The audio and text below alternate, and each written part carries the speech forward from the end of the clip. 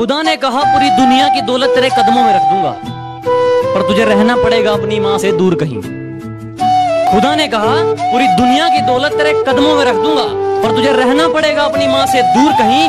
मैंने कहा, ऐ मेरे मालिक, चाहे और कंगाल कर दे, पर तेरा ये फैसला मुझे मंजूर नहीं।